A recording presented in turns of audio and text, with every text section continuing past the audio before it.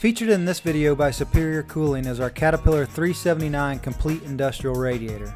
Also fits some 3412 applications.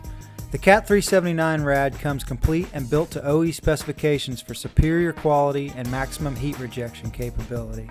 It is built with our most durable cores and is ready to withstand the most stringent testing standards. When in stock, it is ready to ship the same day.